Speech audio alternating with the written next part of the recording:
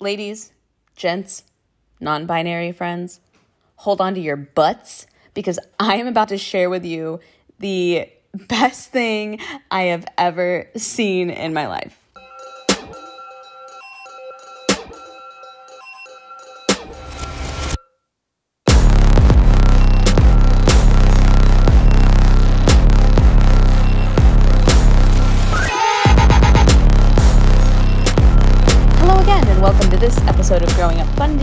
Your host, Sydney Davis Jr. Jr. And guys, this weekend I found the wildest thing that I have seen in a long time. And I mean this entirely sincerely. This is a this is a fantastic thing that I have found.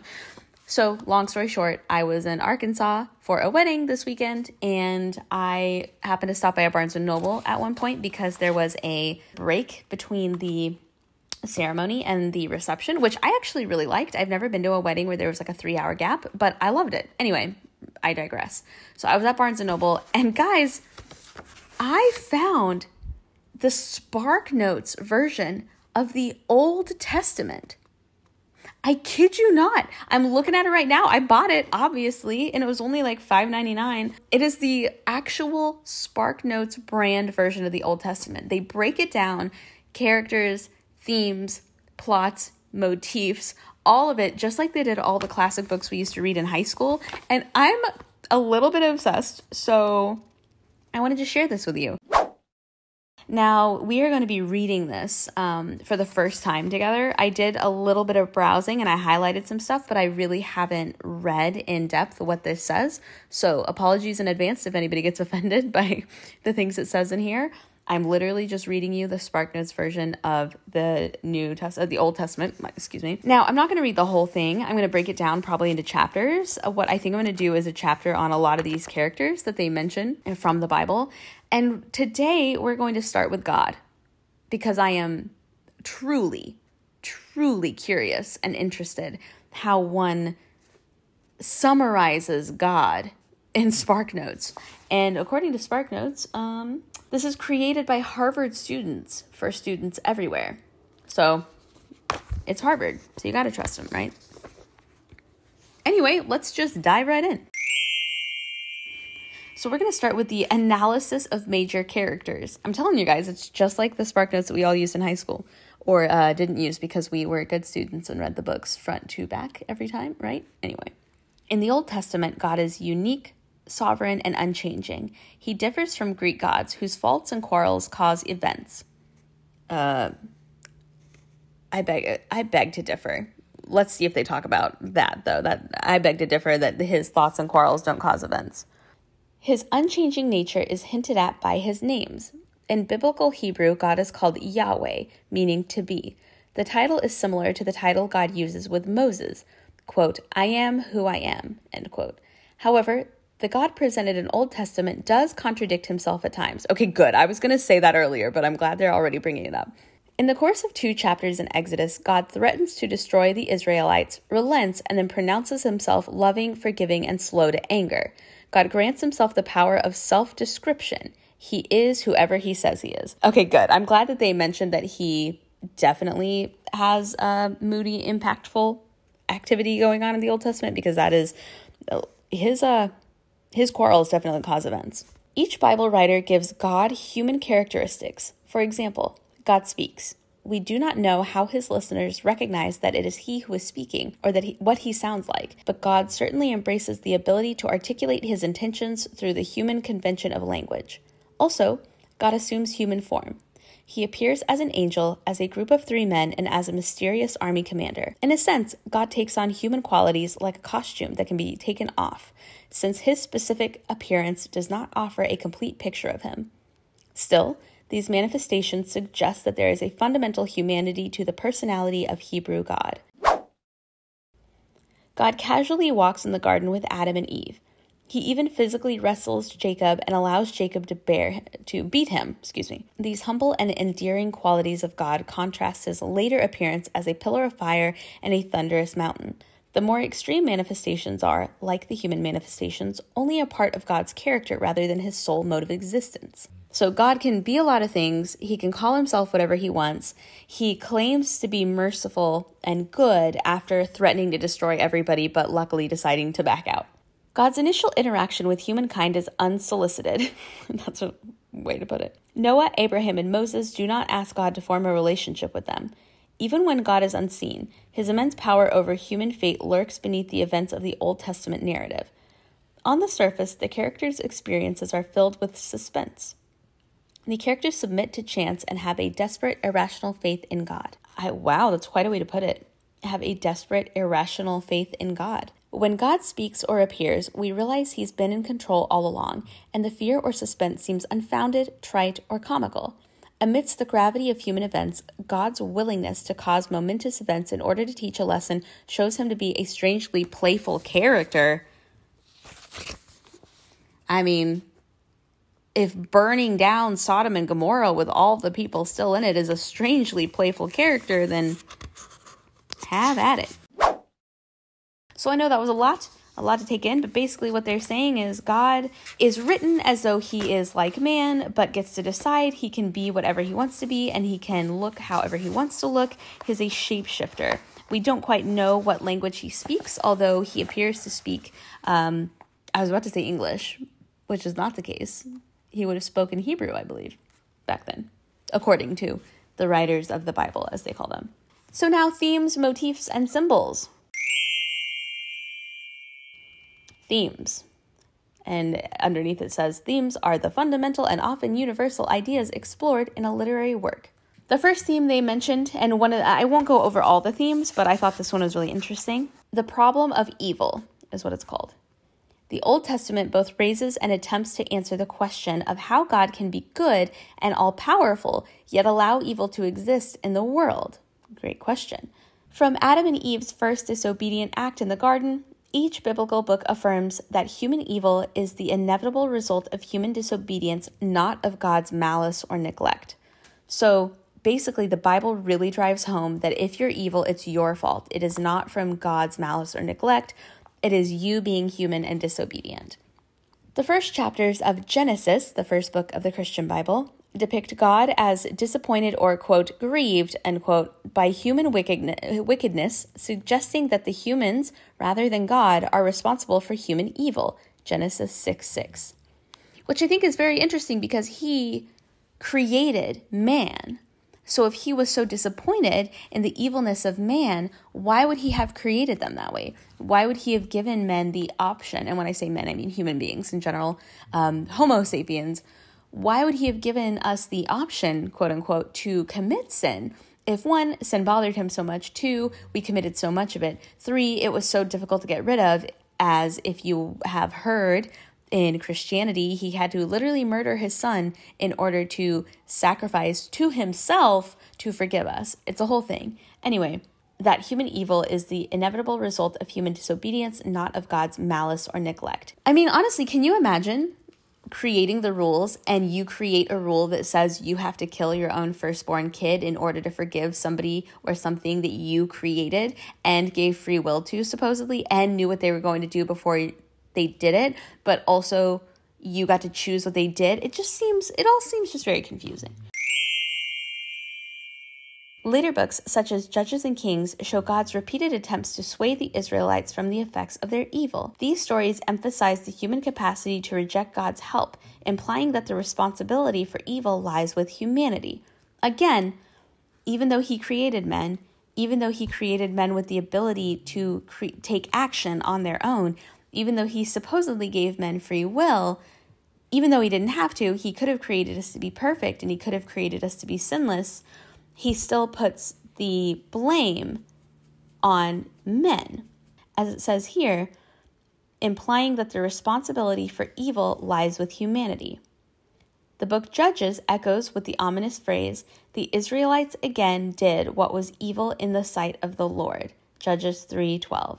So again, he created these beings, he can control what they do, he knows what they're going to do before they do them. They do something evil, which they wouldn't have to be able to do if he didn't allow them to do it, but they do it anyway. And then he gets upset and he blames them for behaving evilly in a way that he doesn't like, even though he could instead create humans that act in a way that he likes.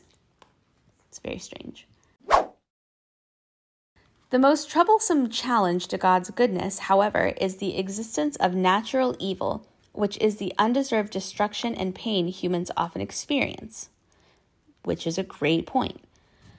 God repeatedly instructs the Israelites to destroy entire cities, killing men, women, and children in the process. The book of Job directly questions God's implication in natural evil. God punishes Job harshly for no other reason than to prove to Satan that Job is religiously faithful. In the end, God declares to Job that God's powerful ways are beyond human understanding and should not be questioned. The book implies that God sometimes uses natural evil as a rhetorical device, as a means of displaying his power, or of proving a point in a world already tainted by human corruption. So, anyone who's unfamiliar with the story of Job, uh, Job was a man who the devil and God were talking one day, and the devil was like, I bet Job would turn away from you. And God says, No, Job would never turn away from me. And basically, what ends up happening is they end up torturing him as perversely as possible. I think they, if I remember correctly, they kill his family, his entire family, like one by one, slowly. They burn down his house. They ruin everything he's ever worked hard for, or loved, or cared about. They destroy it. And in the end, Job still loves God. And so it proves the message that, like, no matter what's going on, you should always look towards God. Take with that what you will. There's also an entire book of Job. Then we're going to skip a little bit uh, to the virtue of faith. In the Old Testament, faith is a resilient belief in the one true God and an unshakable obedience to his will. Noah, Abraham, and Elijah represent the three main heroes of faith in the Old Testament. Each demonstrates his faith in God by performing seemingly irrational tasks after God has been absent from humankind for an extended period of time. So, your boy created everyone and then dipped, is what it sounds like. God has not spoken to humans for many generations when Noah obediently builds a large, strange boat in preparation for a monumental flood. Abraham similarly dismisses the idols and gods of his religion in favor of a belief that an unseen and unnamed deity will provide a promised land for his descendants. Centuries later, the prophet Elijah attempts to rejuvenate faith in God after Israel has worshipped idols for decades. Like Noah and Abraham, Elijah developed a faith based on his ability to communicate directly with God. So it's a little bit confusing here because they say part of the virtue of true faith is the ability to believe in God when he remains unseen. But then they say that these guys communicate directly with God, right? And that's how they remain faithful. So to me, that is not the same. The kind of blind faith that you're expected to have in modern day Christianity, the kind of blind, and, and I mean that most respectfully, the, the very blind, proofless existence of God is much different and harder to follow and harder to really believe in than literally being spoken to by God and being in direct communication with God. So it's interesting to me that these rules are set by people who could literally speak directly to God for people who will never speak to or see God in any way, form, or fashion. Seems a little unfair. Now to motifs. Motifs are reoccurring structures, contrasts, and literary devices that can help to develop and inform the text's major themes. For those of you who are new to Christianity, let me introduce you to the covenant. The covenant is basically saying, I promise to do these things if you promise to love me and you promise to follow me. That's a super duper watered down version of what the covenant is. Kind of a contractual agreement, but also a relationship between God and humanity. The covenant is a unifying structure that allows the human characters to evaluate their lives as a series of symbolic experiences. At first, the signs of the covenant are physical and external. God relates to Abraham by commanding Abraham to perform the rite of circumcision and to kill his son Isaac. In Exodus, God shows his commitment to the Israelites by miraculously separating the waters of the Red Sea and appearing in a pillar of fire. The religious laws are also symbols of the covenant. They represent customs and behavioral rules that unite the lives of the Israelites in a religion community devoted to God. Excuse me, religious community devoted to God. Moses suggests that these laws are to become sacred words that the Israelites cherish in their hearts and minds. Deuteronomy 11:18. There is so much more to this. I really, really encourage you to go and get the Spark Notes of the Old Testament because I'm looking here and they break down every character. There's God, Abraham, Moses, David, Jacob, Joseph, Saul, Solomon, Elijah and Elisha, Adam and Eve, Noah, Isaac, Aaron, Joshua, Samson, Samuel, Absalom, Job, Reho- Rehoboam and Jeroboam. Those are new ones to me. I don't know who those are. Ahab and Jezebel, Esther, and Job, who, as we spoke about earlier, was the one whose life was ruined in order to prove that he would still love God. So, I just kind of wanted to go over a brief overview of who God is, what he does, questions that appear in my mind whenever I hear about God. This idea, let's kind of recap this this idea that a, well, I say a man, but just because humans were supposedly created in God's image, if you um, if you follow the Christian doctrine. So this man, we'll call him, creates human beings that he knows will be evil ahead of time. He's omniscient and omnipotent. He knows they'll be evil ahead of time. He knows they'll disappoint him ahead of time. He knows they'll act evilly. Their inherent sin will be born with them. Yet, he still blames them for that sin and he still punishes them for that sin. And he still calls himself loving, forgiving, and slow to anger.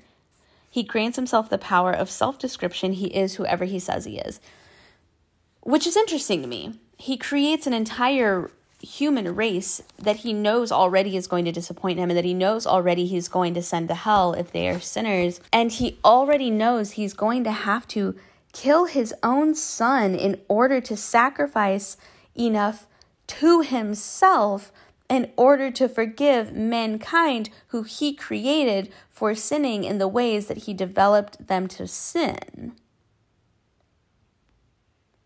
And then on top of that, he gets to take whatever form he wants. He gets to take whatever shape he wants. He speaks directly to these gentlemen. He communicates with them directly in ways that solidifies their faith in him and their belief in him because they have heard from him and they know he exists and yet the modern christian or the modern human is supposed to have the exact same amount of devotion to God even though they've never heard from God or seen God at all even remotely similarly to the way that they did in the Bible it's just a lot to think about.